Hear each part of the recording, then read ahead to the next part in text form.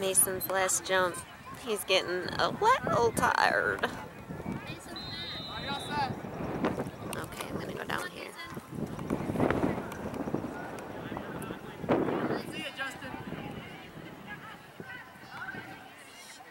It's gonna go anytime now.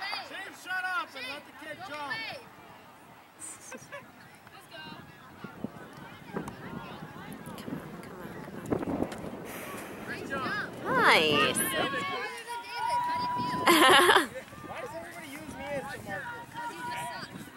feet. Good job, kiddo.